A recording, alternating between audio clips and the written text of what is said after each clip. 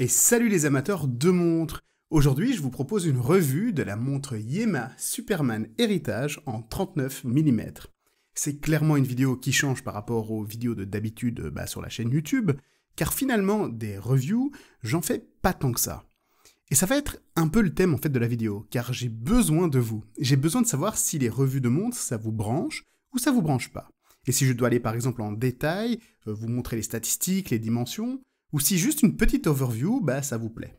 Donc faites bien attention, notez les moments où ça ne vous plaît pas et mettez-le en commentaire.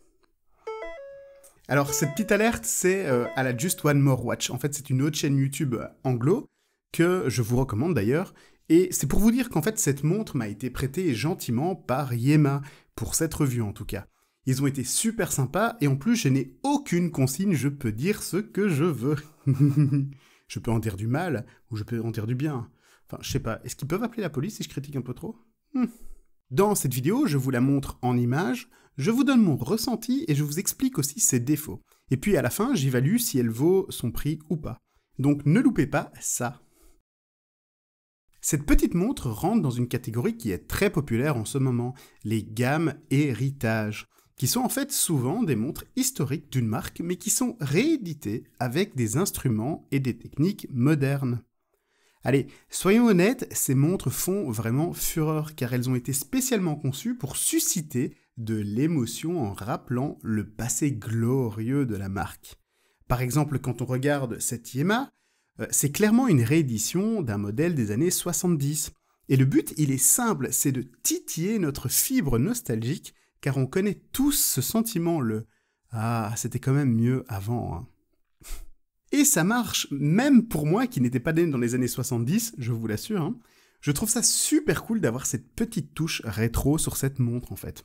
Ça permet euh, aujourd'hui, par exemple, dans un monde qui est complètement numérique, de revenir à quelque chose d'un peu analogique, si je peux dire ça. Euh, bah, de créer un certain décalage avec le monde moderne. Et sérieusement, ça fait du bien. Par exemple, toi, quand je te vois, je sais que tu es vieille et même temps moderne. Je t'adore. T'es magnifique. Pour en revenir à la montre, je suis totalement pour ce genre de réédition, car ça rappelle à tout le monde, oui, qu'il y a une histoire, que la marque n'est pas juste une marque de mode, qu'elle a équipé par exemple des militaires, qu'il y a un certain savoir-faire, et en plus dans ce cas-ci, il y a un savoir-faire local, français. Allez, justement, parlons un peu de l'histoire de Yema, euh, sans rentrer dans un cours, un truc long et chiant. Je me donne une minute max top chrono. Et ensuite, je passe à ce qui va et ce qui ne va pas.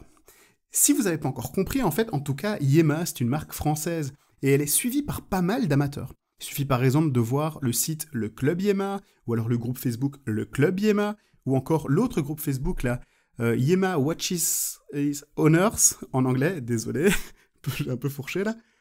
S'il y a autant de passionnés en fait tout simplement pour cette marque, c'est quand celle-ci en fait possède un certain héritage. Déjà, la marque a plus de 70 ans. Les gars, 70 ans, c'est ouf quoi. Mais moi, j'ai pas 70 ans, encore une fois, je vous l'assure. Et, cette marque a équipé l'armée française, et même maintenant de nos jours, ils font encore des partenariats avec l'armée de l'air euh, de France. Et puis aussi, un truc dingue, en 1982, Yamaha, c'est quand même la première montre française dans l'espace Et ça, j'aime bien l'espace. Vous l'avez vu euh, sur la vidéo de l'histoire de la Speedmaster, là, ici.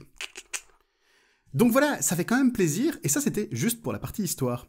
Je sais pas du tout si ça fait une minute, mais de toute façon une montre euh, mécanique c'est pas vraiment précis, donc on s'en fout.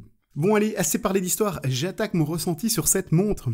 Et c'est qu'en vrai, je lui ai trouvé des défauts directement le premier jour. Mais euh, je vous en parle juste après, parce qu'en fait, il y a quelque chose d'autre quand même qui s'est produit et ça a tout sauvé. Bah en fait, je suis tombé complètement sous le charme de cette montre en fait. Elle a une gueule magnifique. Je sais, je sais pas quoi dire d'autre en fait. Ses proportions sont tellement élégantes. Et je sais que vous êtes nombreux à apprécier son design. Je crois que c'est dû à son côté très rétro qui tape vraiment vraiment fort. Ce qui fait qu'on la voit tout de suite, il y a quelque chose qui attire le regard. Et mes connaissances ont vraiment été intriguées par cette montre. J'ai par exemple remarqué des regards qui traînaient sur mon poignet dans la rue, alors que, ben, d'habitude, ça n'arrive pas vraiment souvent. Même si vous portez une Rolex, hein, les gens s'en foutent. Alors, pour celle-ci, la question c'est plutôt pourquoi? Principalement, c'est dû à son côté classique et élégant. mais qui crie quand même montre de plongée en même temps, tu vois, c'est un, peu, un peu spécial. J'ai l'impression en fait que cette montre se trouve entre deux mondes. Son boîtier est poli et ça attire vraiment plein de lumière et ça la fait briller de partout. Et en plus, il y a ce garde-lunettes qui est présent que sur les montres Yema à ma connaissance, je crois. Hein. Ça lui donne en tout cas quelque chose en plus que les autres montres ben, n'ont pas. Et pour finir, il y a ce verre saphir qui est massivement bombé et qui me fait penser au hublot euh, du sous-marin du Nautilus du capitaine Nemo. Et je parle pas de la marque Hublot qui se fait déchirer sur les réseaux sociaux. Euh, d'ailleurs, ça pourrait être un sujet intéressant, peut-être que si ça vous intéresse, je parlerai un jour de Hublot. Avant d'attaquer les défauts, j'aimerais avoir votre avis sur ce genre de vidéo test. Je vous en ai parlé juste au début de la vidéo et j'aimerais vraiment savoir si ça vous plaît. Est-ce que vous voulez que je teste d'autres montres ou alors est-ce que je dois rester seulement sur des sujets globaux du milieu de l'horlogerie? Aussi, dans la foulée, n'hésitez pas à mettre un like et à vous abonner à la chaîne YouTube pour qu'on puisse poursuivre notre aventure ensemble. Et surtout, ben en fait, qu'on puisse grandir ensemble. Surtout que je suis très proche des 10 000 abonnés. Je le vois, c'est pas très très loin et je vous avoue que j'aimerais bien les atteindre. C'est complètement dingue. Alors les défauts, j'en ai principalement deux et ils sont assez subjectifs. Premièrement, il y a la question du mouvement. Ici, c'est un Celita SW200. C'est un mouvement robuste, ok, et qui est utilisé à peu près partout dans le milieu horloger. C'est suisse et on trouve énormément de marques qui le proposent. Donc c'est plutôt cool, car n'importe quel horloger va pouvoir travailler dessus sans aucun souci. Et aussi un autre truc positif, c'est que vous aurez toujours des pièces dans le turfu en fait. Mais le truc qui me dérange, c'est que certains modèles de Yema possèdent un mouvement maison qui, bah, qu'ils ont mis beaucoup de temps à mettre en place en fait. Et je me dis que pour un modèle héritage, pour des gens qui souhaitent vraiment avoir une montre française et rester dans le jus bien français, euh, waouh, c'est un peu bizarre, ils auraient au moins pu, ben, tout simplement, pu fournir l'option de choisir entre le mouvement suisse ou le mouvement français. Juste une option, quoi. Est-ce que le mouvement maison est meilleur que le mouvement Celita bah, j'en sais rien, je pense pas en vrai. Cependant, j'aurais quand même voulu pouvoir choisir le type de mouvement ben, dans la montre. Pour qu'elle soit, bah, par exemple ici en français, ben, un peu plus authentique. Et aussi que la mention fabriquée en France ben, me dérange un peu moins que pour l'instant en tout cas. L'autre défaut que je lui trouve, et celui-ci m'embête déjà un tout petit peu plus, je vais être honnête avec vous, c'est la luminescence qui n'est vraiment pas dingue. Alors la vérité, c'est que ça dure quand même toute la nuit sans aucun souci. Le matin, ça me fait vraiment plaisir de me lever et de voir qu'elle brille encore un peu dans le noir. Mais quand on passe du soleil à l'intérieur, ben sérieusement, elle brille pas beaucoup en fait. Hein. Et le pire, c'est que il n'y a pas vraiment la même couche de peinture entre les aiguilles et les index, enfin les indices. Puis certains brillent euh, plus que d'autres en fait, certains indices brillent plus que d'autres. Ça fait vraiment qu'elle n'est pas assez bien appliquée.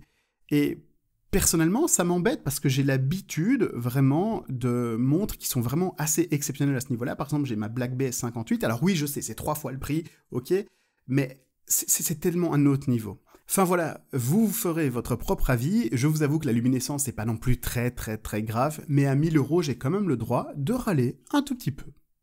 Alors la question qui tue, c'est est-ce qu'elle vaut son prix? C'est pas donné, franchement, et je comprends en fait. Alors comment est-ce qu'on pourrait évaluer ça? On peut commencer par regarder les alternatives qui existent avec le mouvement SW200. Et là, il y a pas mal de choix qui va d'environ 500 euros à plus de 2000 euros. Donc on est au centre, je dirais.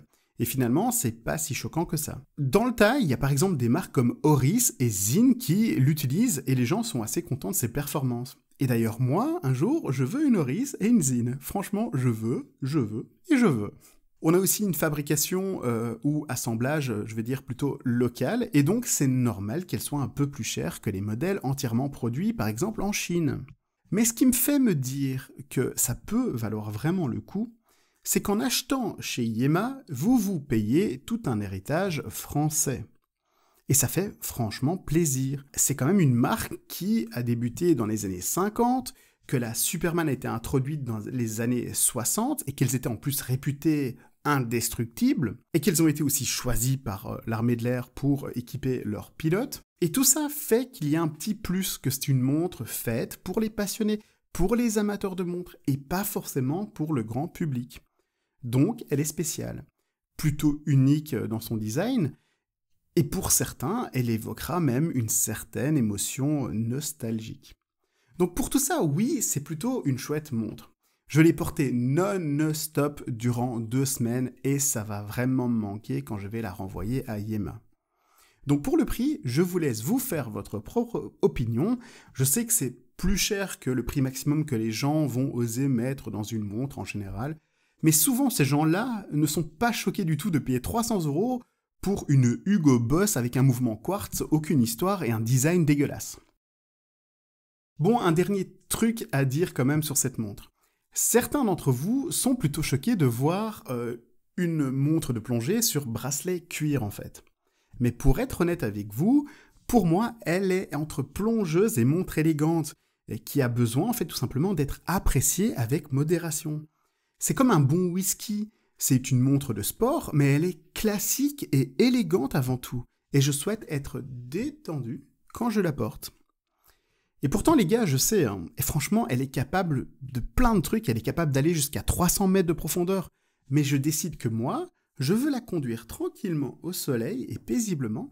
J'entends le ronronnement du moteur, je sais qu'il est là, qu'il est prêt, qu'il est compétent, mais je n'ai pas envie d'appuyer sur l'accélérateur car je veux juste profiter du bon temps et euh, tout simplement profiter de la compagnie de cette belle montre. Et donc, je trouve qu'un bracelet plus élégant lui va très bien. Bon, de ce que j'ai vu sur les sites, vous pouvez pas la choisir avec un bracelet en cuir hein, pour cette montre, ce qui est plutôt assez dommage. Et ça, c'est un petit conseil pour la marque. Proposez, s'il vous plaît, l'option du bracelet en cuir sur la héritage. Je suis sûr que ça peut intéresser plein de personnes. Et puis, encore mieux, pourquoi pas proposer tout simplement d'office, euh, gratuitement, un bracelet en cuir dans chaque euh, héritage que vous vendez. Bon, allez, je sais que ça peut revenir un peu plus cher, mais bon, ça peut faire plaisir à certaines personnes. Sinon, cliquez ici pour avoir des montres, enfin des idées de montres originales et pas chères aussi, et cliquez ici pour voir d'autres vidéos de la chaîne YouTube. Moi, je vous dis à la prochaine. See ya